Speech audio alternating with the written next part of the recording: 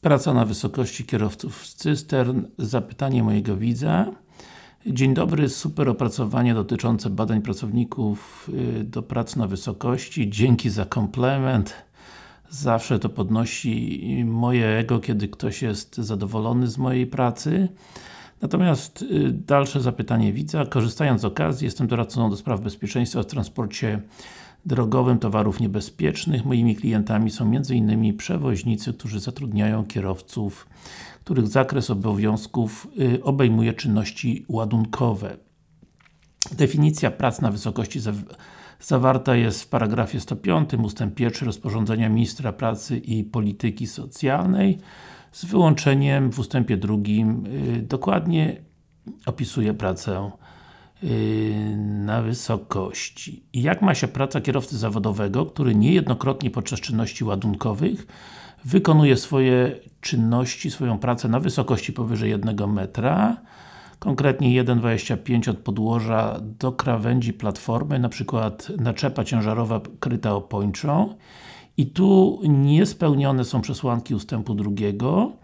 Kolejny przypadek, kierowca autocysterny, tu praca przy operacjach napełniania odgórnego, wysokość cysterny około 3,2 metra. I moje pytanie, czy y, w Państwa doświadczeniach często macie skierowania od pracodawcy zatrudniającego kierowców pojazdów ciężarowych? Będę zobowiązany za krótki komentarz.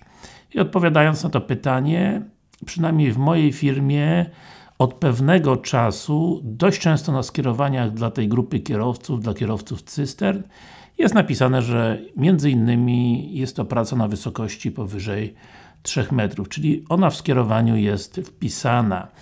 Pytałem tych kierowców, jak to wygląda w praktyce jest to zgodne z opisem mojego widza, gdzie jest jedno to miejsce na tej cysternie, że te 3 metry y, się przekracza.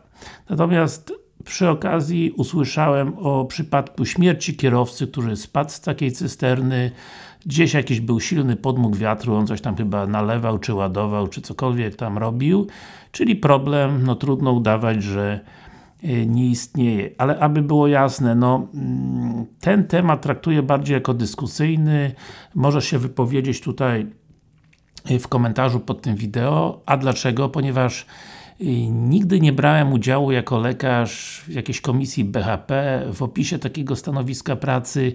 No, nie właziłem na tą cysternę, nie przyglądałem się, no, musiałbym to kiedyś popatrzeć na jakimś parkingu, jak taka cysterna wygląda.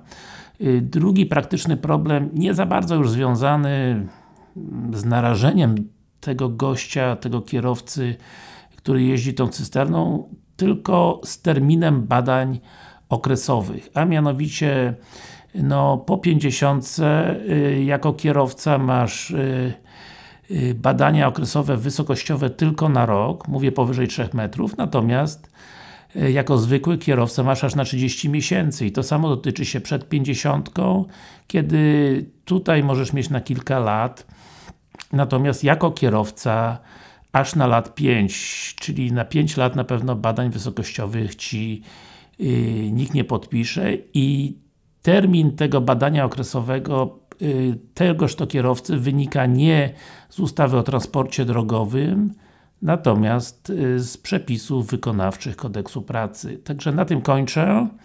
Mówił Darek Kraśnicki z Wrocławia. Jeżeli masz coś ciekawego do powiedzenia o pracy kierowcy cysterny, nie tylko pracy na wysokości powyżej 3 metrów, napisz to w opisie do tego wideo, a w zasadzie nie w opisie, tylko y, w komentarzu do tego wideo. No jeżeli oczywiście nie jesteś moim subskrybentem, gdzieś tutaj bodajże po mojej prawej, po Twojej lewej stronie są linki do subskrypcji, także masz okazję zawsze, będąc moim widzem, będąc moim subskrybentem, otrzymać najświeższy materiał przed wszystkimi. Także bye bye. Jeszcze raz mówił Darek Kraśnicki z Wrocławia i do zobaczenia w moim kolejnym filmiku.